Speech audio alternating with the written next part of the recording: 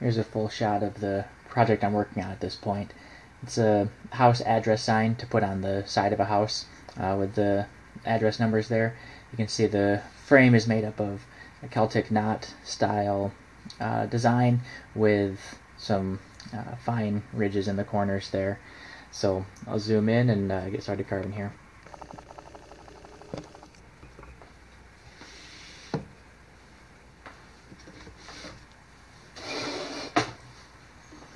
Can see I already got started a little bit on this knot and zoomed in. You can see a bit closer now. The uh, ropes or the lines on the Celtic knot area is actually made up of kind of one main cord through there. And then there's two thin cuts off to the side of that that produces this thin outline on either side of it. So that's what I'm working on right now is on this uh, section of knot doing those thin outlines and one thing to definitely be aware of in that process is making sure to get those lines nice and straight because with it being as thin as it is, any uh, deviation becomes pretty apparent and can often be uh, tidied up a little bit, but there's obviously not a whole lot of wood to work with on this small scale.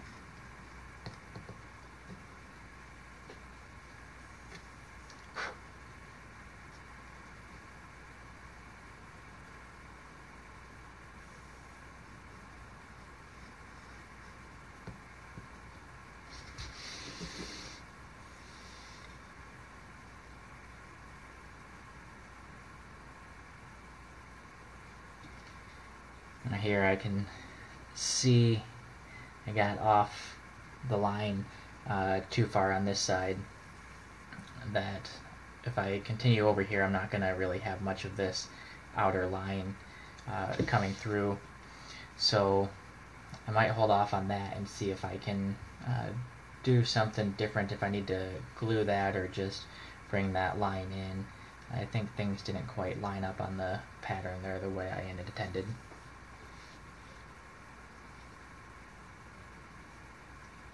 It's also a little bit tricky with the light reflecting to see those pattern lines real clearly.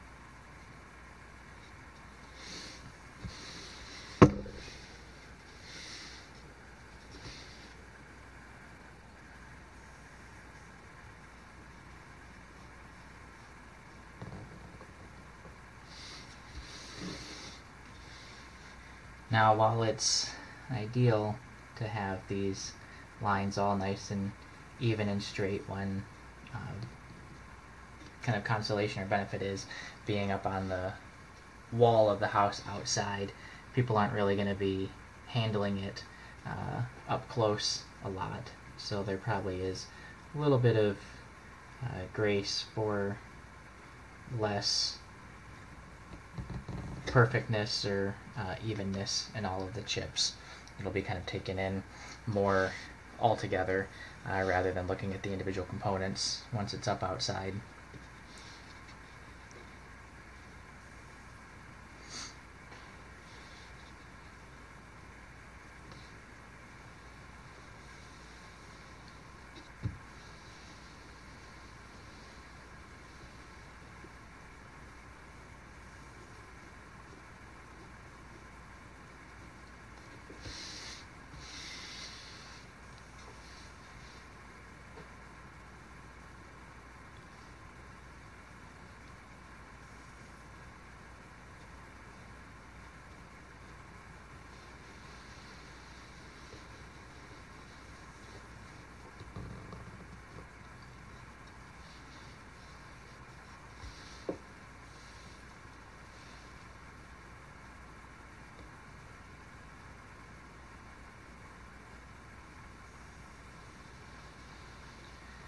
You can see when I get to these curved parts, I'm actually mostly holding my hand and the knife still and curving the wood underneath to make sure I can get a nice smooth even curve.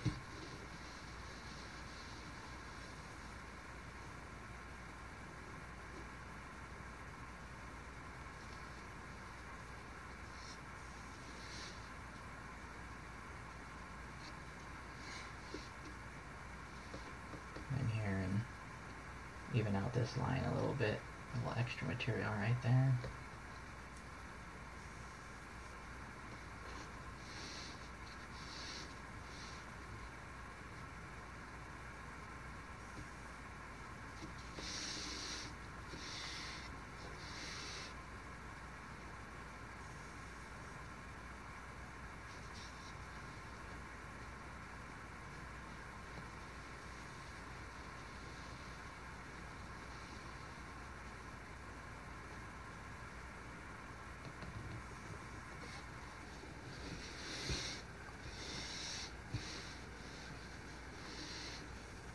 This piece is a little bit uh, bigger and harder to kind of maneuver on the desk here, so forgive me if I struggle to keep it in frame.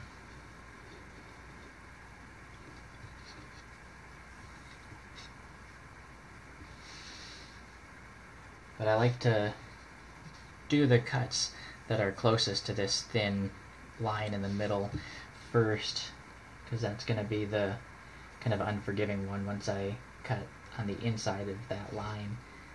That's going to define the thickness, and if I need to make any adjustments to the outside of that part, then I can.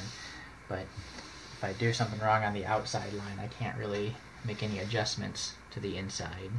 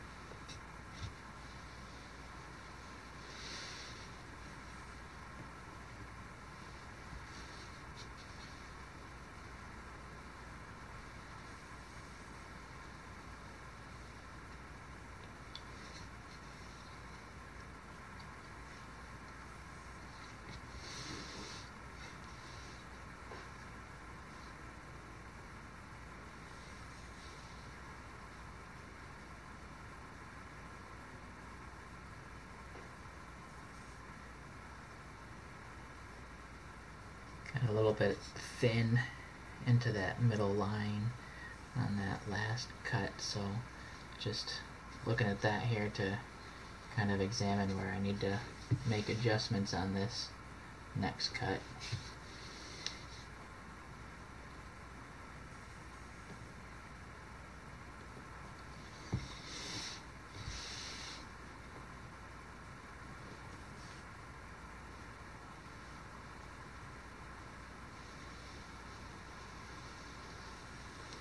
Some of these I'm intentionally carving my first chip a little bit thinner than maybe I intend it to to be when I'm done. So that gives me a little bit of wiggle room to work with and figure out where to cut the extra material out.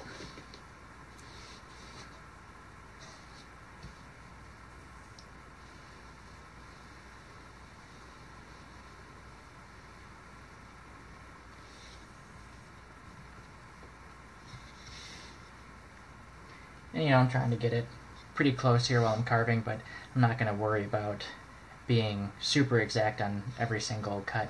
I'm going to kind of go with it uh, for now and uh, see what it looks like once it's done. See if anything stands out to me as needing any adjustments or uh, just if I notice any particular things once it's in its more final form, then I can make those. But every time you go back into a cut that you've already made that's in decent shape, if it's not quite perfect, you risk making it worse. And I've done that a number of times that I regretted trying to make it better after the fact because it only got worse.